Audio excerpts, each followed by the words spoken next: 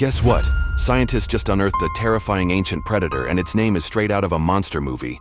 Get ready to meet Titanokorys gainesi. Found in Canada's famous Burgess Shale, this incredible fossil is over 500 million years old.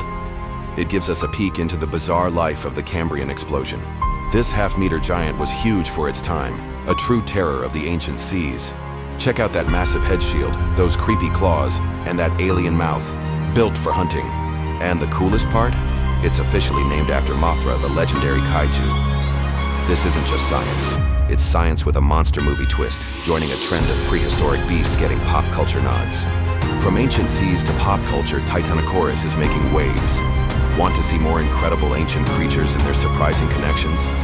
Hit that like button, subscribe, and tell us which monster you'd name a fossil after in the comments below.